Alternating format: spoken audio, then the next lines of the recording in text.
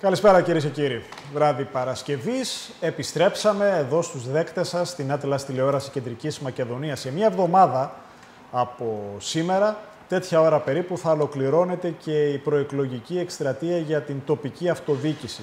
Καθώς την επόμενη Κυριακή, 8 του μήνα, θα πρέπει να πάμε στις κάλπες για να ασκήσουμε το εκλογικό μας δικαίωμα σε Δήμους και περιφέρειες σε όλη τη χώρα. Εμείς συνεχίζουμε τις συζητήσεις με τους υποψήφιους δημάρχους, με τους ανθρώπους οι οποίοι θα κληθούν για την επόμενη πενταετία να διαχειριστούν τις τύχες των Δήμων τους, αλλά και μέσα από το πρόγραμμα το οποίο έχουν ετοιμάσει να διαχειριστούν Σταύρο τις δικές μας ζωές, τη δική μας καθημερινότητα. Καλησπέρα κυρίες και κύριοι. Νομίζω, Χρήστο, ότι αυτές οι εκλογές είναι πολύ πιο ενδιαφέρουσες. Ο κόσμος ψηφίζει αυτοδιοικητικά, επιμένει αυτοδιοικητικά έχει μία άλλη εικόνα, με δεδομένο πως πλέον στους συνδυασμούς, φίλοι, γνωστοί, βλέπω ότι τα κόμματα μένουν πιο μακριά από τις επιλογές των ανθρώπων, δηλαδή ψηφίζουν πρόσωπα και όχι α, κόμματα. Τώρα για το αν θα συμβεί αυτό στον Δήμο Θερμαϊκού, καθώς έχουμε τη χαρά και την τιμή να φιλοξενούμε τον κύριο Γιάννη Μαυρομάτη, πρώην Δήμαρχο Θερμαϊκού και υποψήφιο εκ νέου, θα το δούμε. Κύριε Δήμαρχε, καλησπέρα. Καλησπέρα σας. Σας ευχαριστώ για τη φιλοξενία σας και τους δύο. Είναι χαρά που βρίσκομαι ανάμεσά σας. Ε, στο Δήμο Θερμαϊκούς, σε 9 μέρες, όπως και σε όλους τους Δήμους, έχουμε αυτές τις εκλογές. Είμαστε στην πιο hot που λένε ε, εποχή. Είναι αισιόδοξα τα μηνύματα για να μιλήσω για τον δικό μας συνδυασμό. Η παράταξή μας, η συμπαράταξή μας, που προήλθε από τη συνένωση τριών παρατάξεων, αλλά και την προσθήκη δύο κορυφαίων αυτοδιοικητικών ε, του Προέδρου του Τοπικού Συμβουλίου της Επανομής και του πρώην Δημάρχου ε, του Θερμαϊκού, του, αντίστοιχα του κυρίου Καζάκη και του κυρίου Ματζάρη, ε, δίνουν μια δυναμική παρουσία και στο στόχο ότι την αυριανή μέρα μπορούμε δυναμικά να λύσουμε χρονίζοντα προβλήματα του Δήμου Θερμαϊκού.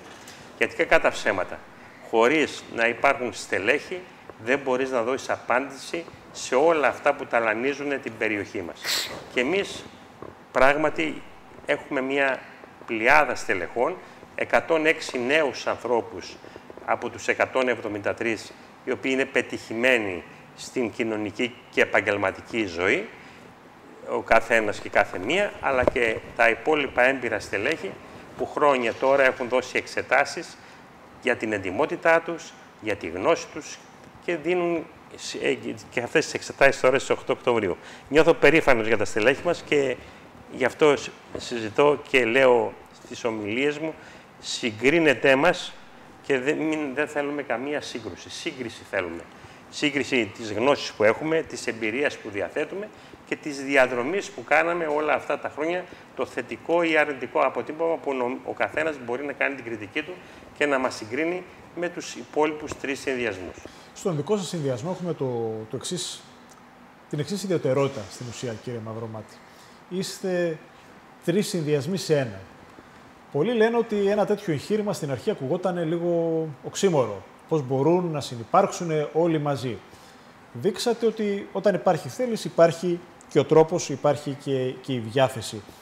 Τι λοιπόν διαφορετικό πρεσβεύει ο δικός σας ο συνδυασμός, τι θέλει να αλλάξει στο Δήμο Θερμαϊκού, πώς φαντάζεστε, πώς οραματίζεστε την επόμενη πενταετία για μια περιοχή που για πολλούς είναι η βιτρίνα της Θεσσαλονίκης, είναι μια περιοχή η οποία μπορεί να έχει και τουριστική ανάπτυξη και οικιστική ανάπτυξη.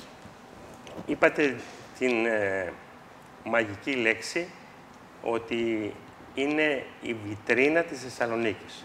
Αυτό θέλουμε να κατορθώσουμε και να είναι το brand name του Δήμου Θερμαϊκού, ότι ο Θερμαϊκός είναι η προέκταση της Θεσσαλονίκης και η Θεσσαλονίκη μέσα από το Θερμαϊκό ε, βρίσκεται, ε, ε, έχει ταυτότητα τουριστική, έχει ταυτότητα ότι η περιοχή μας είναι ένα από τα μεγαλύτερα γεωργικά κέντρα και, και τα αλλιευτικά κέντρα, αλλά επίσης είναι ένα, ε, μια περιοχή όπου τουριστικά ε, καθημερινά αυξάνεται η δυναμική της. Ε, η δυναμική της. Θέλω να σας πω λοιπόν ότι τα στελέχη είναι αυτά τα οποία μπορούν να υλοποιήσουν τα προγράμματα, τα οράματα τα οποία έχουμε σχεδιάσει. Και επειδή τα, ε, ε, ε, μου θέσατε το ερώτημα τι θα γίνει την αυριανή μέρα, τι θα μπορείτε να κάνετε, είναι εμείς και θέλουμε και μπορούμε αλλά και γνωρίζουμε σπιθαμή, σπιθαμή, γειτονιά, γειτονιά τα προβλήματα. Μέγιστο πρόβλημα πρώτον είναι ότι ο δρόμος που συνδέει την Περαία με τη Νέα Μηχανιώνα πρέπει να διαπλατηθεί. Εδώ δεν υπάρχει πλέον καμία επίοικια ότι εδώ πρέπει να υλοποιηθεί άμεσα μία μελέτη.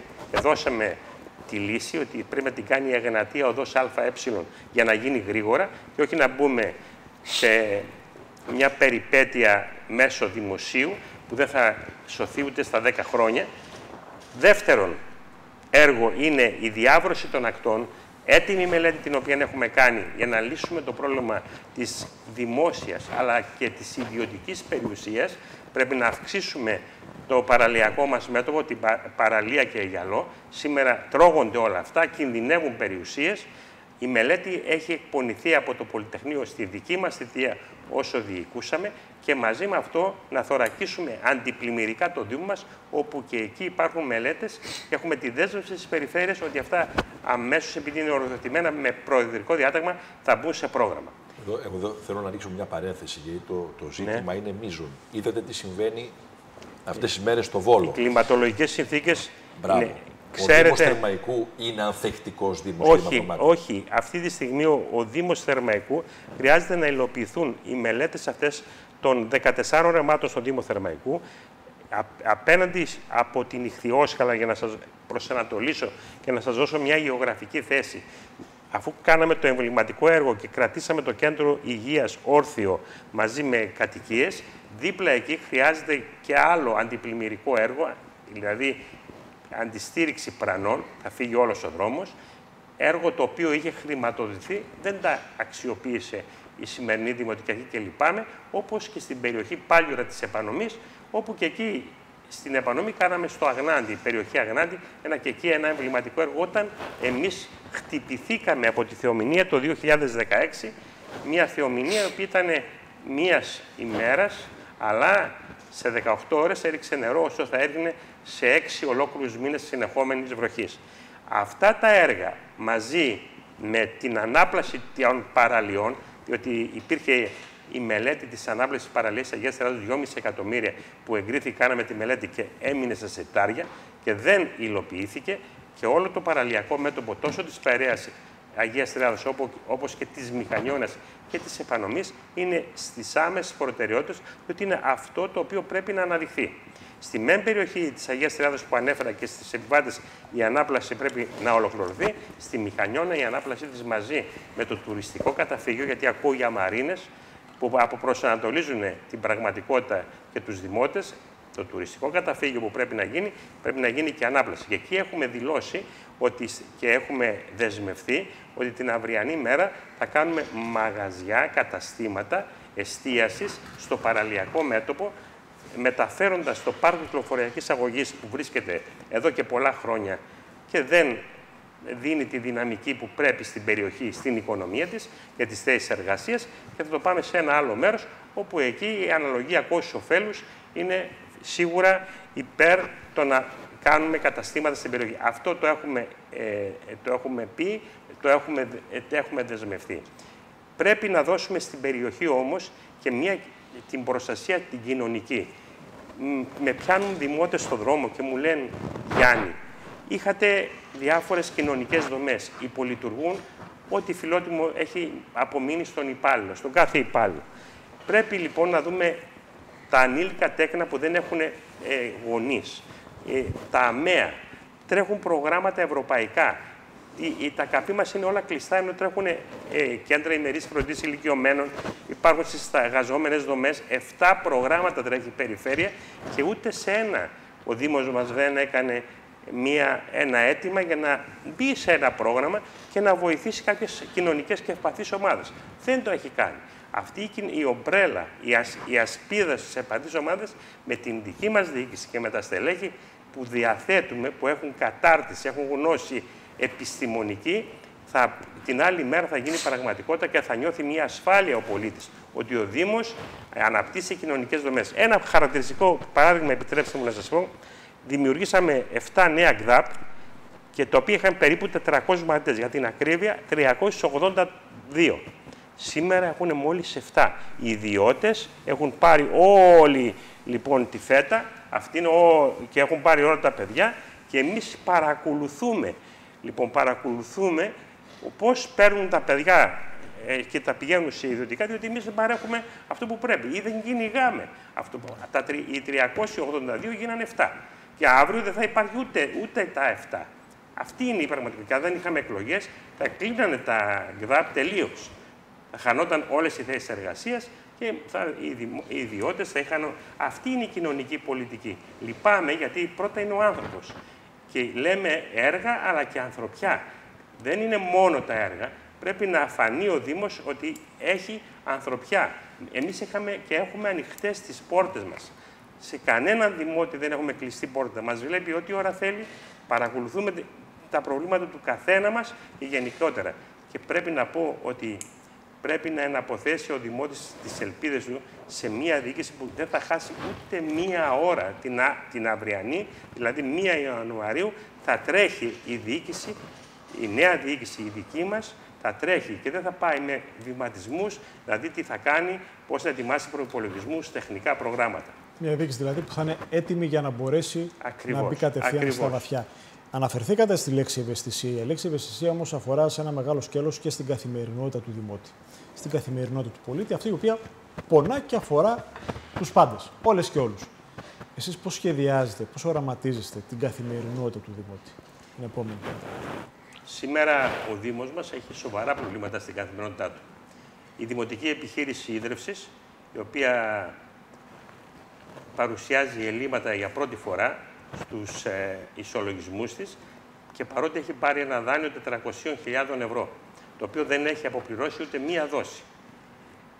Πρέπει να πω ότι μας ενδιαφέρει η ίδρυυση να φέρουμε το νερό στην, τουλάχιστον στην Περαία και στους νέους επιβάτες, αλλά μέχρι να φέρουμε το νερό από την Καλαμαριά στην Περαία και στους νέους επιβάτες και στην Αγία Τριάδα, πρέπει αυτές τις γεωτρήσεις οι οποίες είναι ακυρωμένες να τις ξαναεπανελειτουργήσουμε με ένα έργο που είναι το ταχυδηληστήριο νερού, να φέρουμε νερό ή να κάνουμε και νέες γεωτρήσεις και συγχρόνως να αντικαταστήσουμε το καρκινογόνο δίκτυο των αμυαντοσωλήνων που είναι στην Επανομή, που είναι στους νέους επιβάτες, που είναι στην Αγία Τριάδα, που είναι στη Νέα Μηχανιόνη.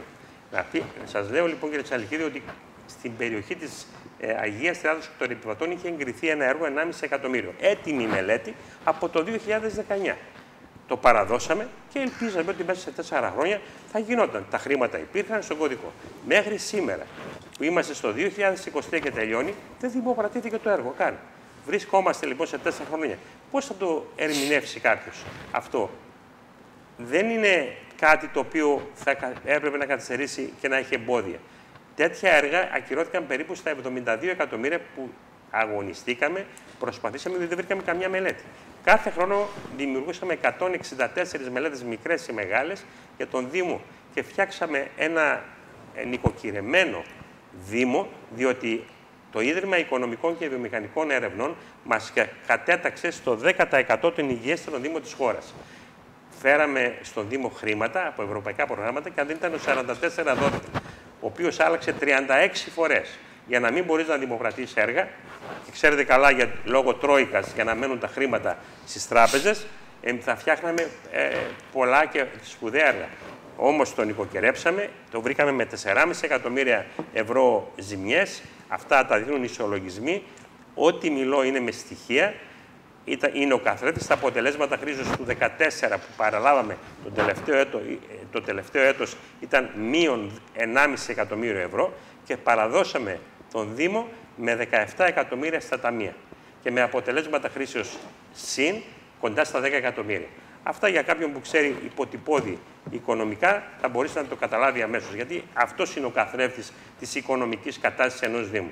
Πάμε τώρα σε κάτι που καίει την καθημερινότητα, κύριε Δήμαρχε. Το ανέφερε ο Χρήσος. Καθημερινότητα για μένα το πρώτο είναι καθαριότητα.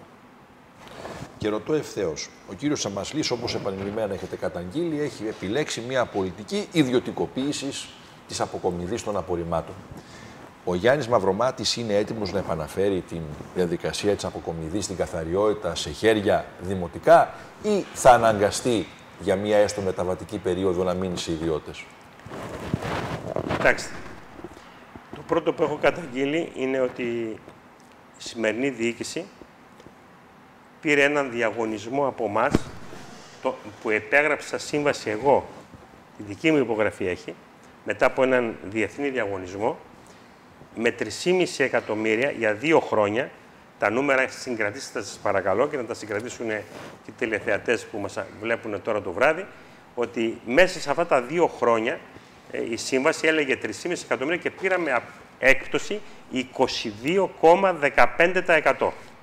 Ήρθε λοιπόν η, η σύμβαση αυτή, γιατί δεν είχε αυτοκίνητα ο Δήμος. Αγοράσα, αγοράσαμε εμείς πέντε αυτοκίνητα και ένα πήραμε δώρο από την ελληνική εταιρεία ανακύκλωση, γιατί πετύχαμε έναν στόχο υψηλό και μα είπανε σας δορίζουμε ένα αυτοκίνητο, γιατί πετύχατε έναν υψηλό στόχο.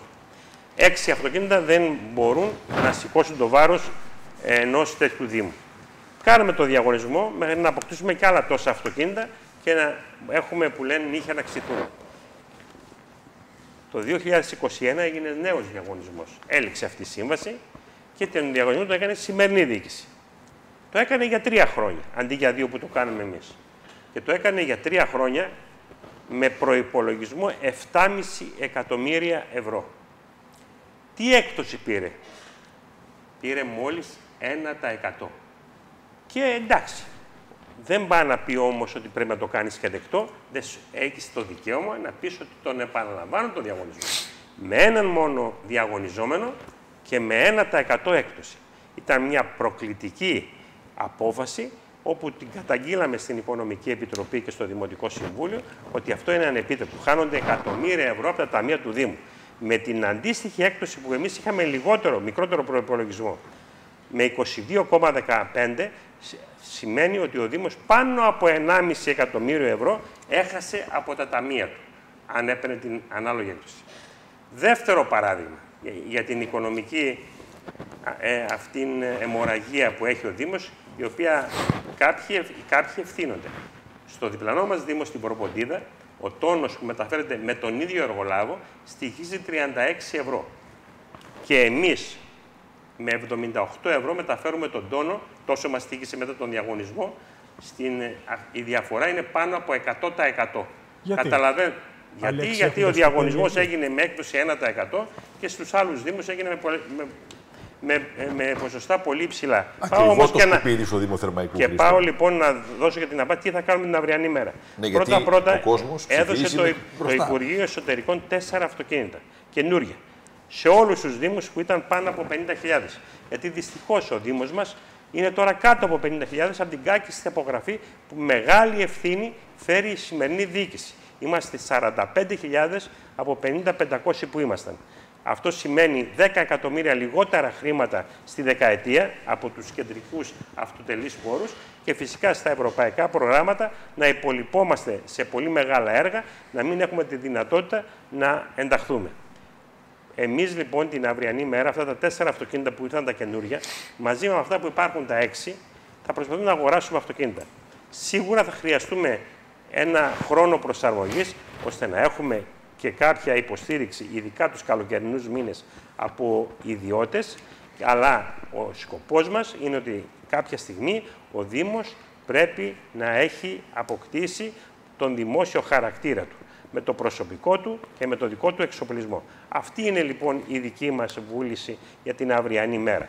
Σήμερα που ήρθαν τα τέσσερα φορτηγά, έπρεπε, μπορούσατε να με ρωτήσετε, κύριε Μαυρομάτη, αφαίρεσε η διοίκηση έστω ένα αυτοκίνητο από, τα, από τη σύμβαση στα 12. Ναι, έχει το δικαίωμα να αφαιρέσει, διότι υπάρχει ρήτρα που λέει ό,τι ώρα θέλει ο Δήμος, ειδοποιεί τον εργολάβο και του λέει: Έχουμε σύμβαση 12 αυτοκινήτων. Εγώ τώρα έχω αγοράσει δύο, Έχω και προσωπικό για δύο, θέλω δέκα να γίνει. Έτσι, αφαιρώ. Ναι, δυστυχώς δεν γίνεται τίποτα. Παραμένουν τα αυτοκίνητα είτε ανενεργά μένουν, είτε είναι χαλασμένα και δεν συντηρούνται, γιατί τέσσερα χρόνια δεν είχαμε συντηρητή ε, από την ε, διοίκηση και έτσι χάνονται χρήματα από το Ταμείο του Δήμου. Ναι. Αυτό όμως δεν μπορεί να συνεχιστεί άλλο. Διότι σε κάποια στιγμή ο Δήμος θα πάει στο κόκκινο και θα αναγκαστεί, επειδή είναι ανταποδοτικά, να πάει στους δημότες και να τους πει τώρα, δι, κύριοι, πληρώστε για να έχετε καθαριότητα πολύ ακριβότερα από ό,τι πληρώνετε. Αυτό όμως δεν θα το επιτρέψει ούτε ε, ο πολίτης και φυσικά ούτε και εμείς. Αναφερθήκατε στην απογραφή. Μιλήσατε για, για μείωση του πληθυσμού. Κατά 10%. 10%. Σε μια εποχή που οι περισσότεροι που κατοικούν στο πολεοδομικό συγκρότημα της Θεσσαλονίκης θέλουν να φύγουν. Θέλουν να πάνε σε άλλες περιοχές. Για παράδειγμα, στο Δήμο Θέρμης, που γνωρίζει μια μεγάλη οικιστική ανάπτυξη. Τι είναι αυτό που διώχνει τους κατοίκους μιας περιοχής που πραγματικά είναι κόσμημα, έχει θάλασσα, έχει... είναι... είναι μια περιοχή που πραγματικά αξίζει να δεν ζεις είναι, και να κάνεις τα δεν είναι, σου. Απαντώ ότι δεν είναι πραγματικό το νούμερο. Ένα χαρακτηριστικό παράδειγμα είναι η Αγία Τριάδα. Ναι. Η Αγία Τριάδα απέγραψε 1990 κατοίκους. Όταν στην Αγία Τριάδα δεν υπάρχει κανένα κενό σπίτι, κανένα κενό μαγαζί και έχει αυξήσει από, ενώ ήταν 3.300-3.400. Δεν απεγράφησαν σε περιοχές της Αγίας Τριάδος.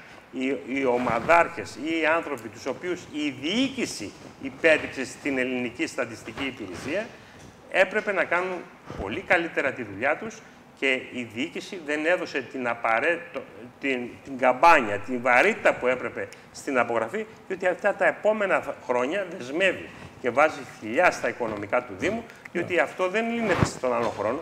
Δέκα χρόνια ο Δήμος μας θα παραμένει σε αυτή την κατηγορία που τον έχει ρίξει η σημερινή διοίκηση, διότι δεν έδωσε βαρύτητα, δεν απεγράφει το λιβαδίκι, δεν απεγράφει η Άνω Αγία Τριάδα. Εγώ που είμαι στο κέντρο ενός χωριού της Κερασιάς, δεν είχα απογραφεί και αναζητούσα να απογραφώ αγω, αγωνιωδώς. Και εγώ και η οικογένειά μου και τα παιδιά μου.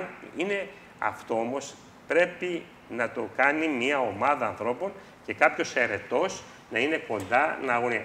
Τι καμπάνια έκαναν άλλοι δίνει.